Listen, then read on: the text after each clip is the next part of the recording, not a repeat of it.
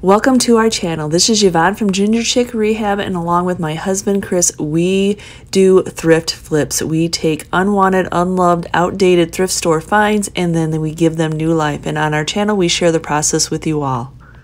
So we were contacted by a Ginger Chick fan here locally who has always been shopping at our retail booth. I believe that she shopped even before we had our retail booth and so very graciously offered us this corner hutch and we were very happy to come across this because I feel as if corner hutches are a rare find in our area.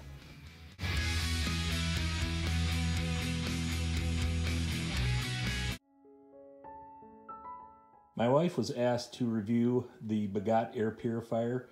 This one is rated for 270 square feet, so it pretty much covers the living room and our kitchen in our house.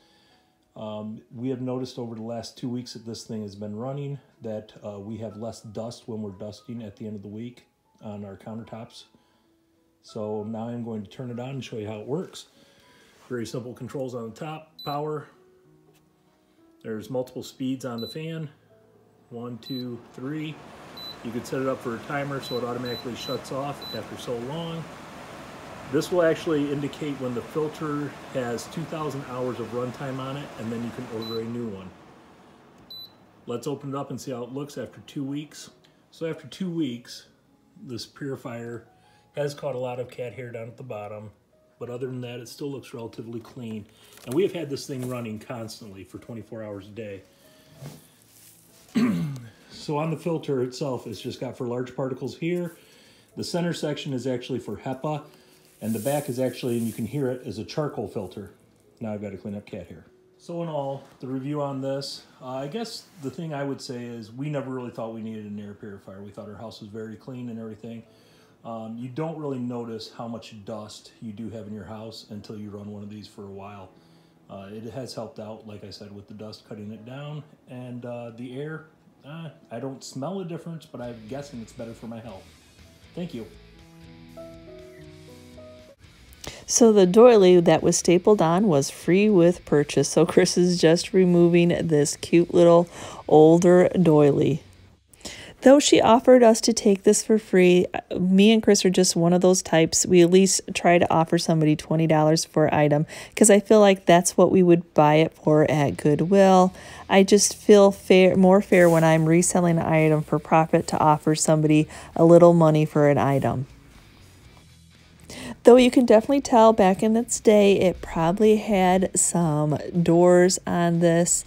But open shelving is just as nice as having some place to hide. And we know what we do when we have doors. We just stash it full of stuff that we forget about. So it's okay to take the hinges that are left behind, the little stoppers that held the doors to begin with. We're just going to be leaving this open shelving. So I'm sorry about some of the fuzziness of the video. Sometimes when you're in the workshop, you don't realize that you get sawdust on your video camera. So some of this video is a little bit on the fuzzy side. I am sorry for that. And of course, you don't know until you go to edit it that it was fuzzy that you needed to clean off your camera. So he's just using some of the Durham water putty to fill in this area where he had taken off the closing system for what was the cabinet doors. And then after that dried, he's just going in the, with the orbital sander and sanding that nice and smooth. The longer you let that Durham water putty sit, the harder it is to sand. So as soon as it's dry, it's probably the best time to sand it because it does dry rock hard if you, especially we have learned not to let it sit overnight, that's for sure. So all the shelves for this corner hutch were pretty much even with the outer edge of the hutch. So Chris was going to ask add a piece of trim just to beef up and pull out that last shelf where the doors were that they used to close. That's why it's recessed back just to make it look a little bit more even with that top shelf above it.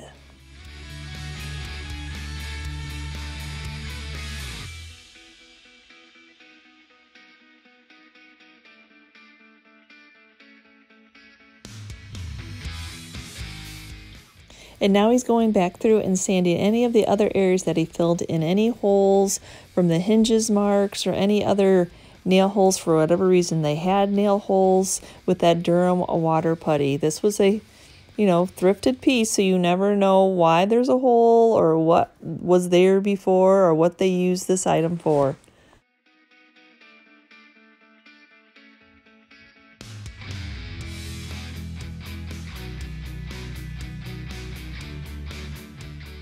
So now that he's fixed all the pieces and parts and filled in all the holes, now he's going back in and getting all the grime and dirt and just whatever may be on that that would prevent paint from sticking. He's just using some Krud Kutter. We like an item, a product that we use in the workshop. We do not have running water in our workshop. So Krud Kutter is an item that you just spray on, you wipe off, you do not have to rinse.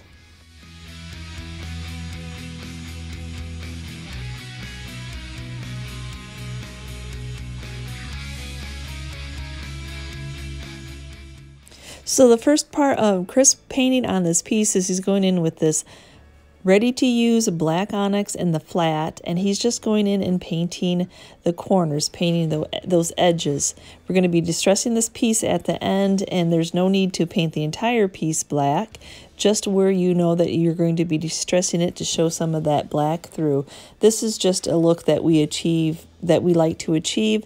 So this is a process that he learned with the furniture pieces that he doesn't need to waste all that black paint if he's just going to be distressing the corners.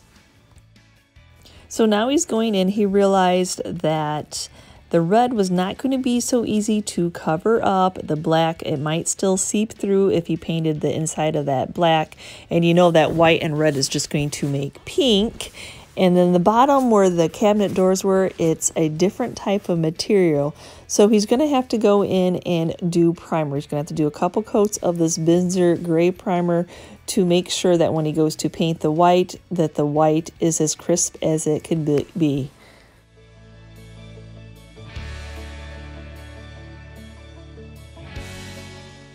So we're going to be really keeping this piece neutral by painting it white. I'm sure you already knew that. If you are a Ginger Chick fan, you knew the, the, that the edges were going to be painted black. And then he was going to go in with the Kilz paint and primer in the flat white.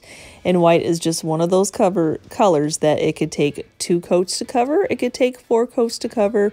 He always chooses to do thin coats so when it comes to the sanding and the distressing that you don't have to sand off any drips or runs or any pooled up places.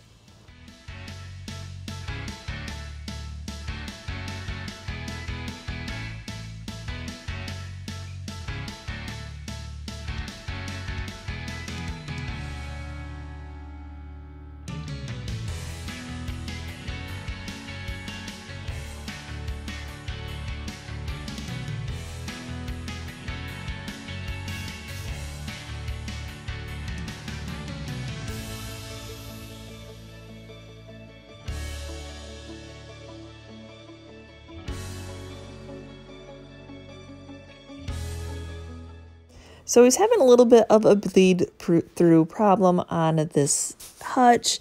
Bleed through is where when you're painting white or a lighter color, the paint is starting to yellow, mixing in with, with whatever was put on the original product to begin with. So the fix is a couple coats of a shellac spray. Yes, if you pre-knew this or if you wanted to buy the the primer that has the shellac in it and do the entire piece, that way you could do that. As a flipper, we just kind of wait to see what happens with the piece if we just need to go in. The spray goes a long way and it dries really fast. So just trying to keep costs down in our area. We can't get a ton of money for the items that we flip.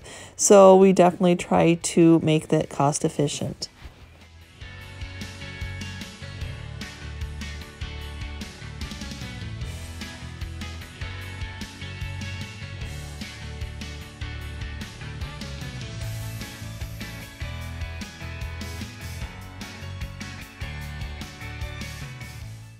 So now Chris is going in with 300 grit sandpaper on the orbital sander and this rigid sander has a speed setting so he's going on the lowest setting that he, that he can and so what this is doing is just smoothing out any brush strokes that you may feel.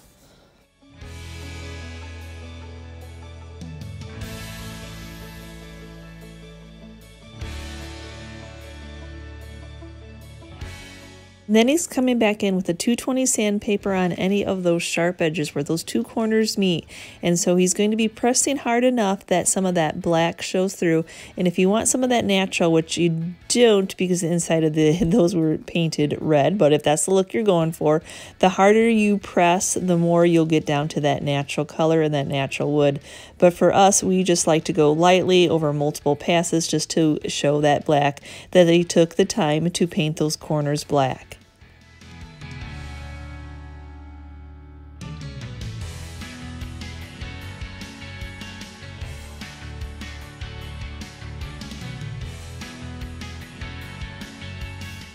So now he's just going to be blowing that off with the air compressor, getting all that sand dusting, that sanding dust off.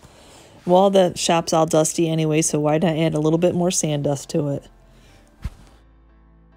So he's going to be adding a little bit more extra layer protection to this piece since it's open shelving and it may be in a kitchen area just to protect it. He's going to go in with some polyacrylic and put a nice generous coat of polyacrylic acrylic on each one of these shelves.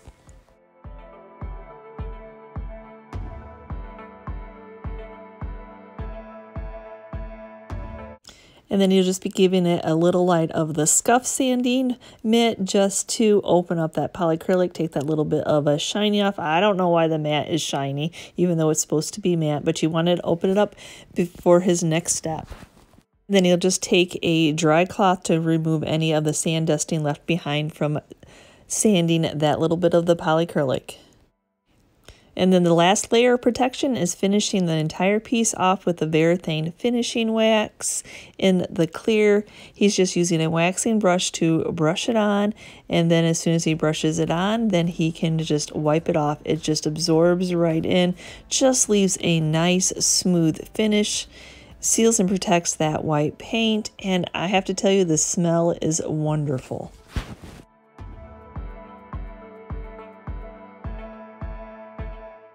So as a rare find in our area at Corner Hutches, we ended up giving her $20 for this hutch. And because we feel as if it is a rare find, we'll ask 125 for it in our booth. And I think it is well worth every penny of that.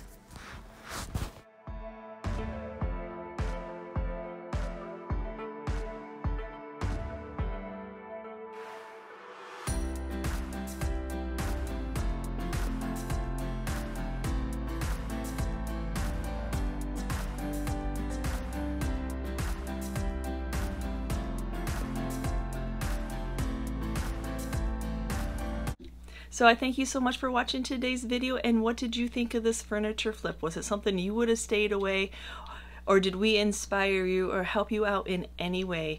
If we help if you walk away with one little tip that we shared with you that has worked for us, then this video was well worth being made. So I thank you again so much for watching today's video and if you're part of our YouTube family, thank you so much just your kind comments and your tips that you share with us. We share our tips, you share your tips, just makes this YouTube channel work. And if you're new to our channel and checking us out for the first time, please consider hitting that subscription button along with the notification bell so you know when we've uploaded a new video.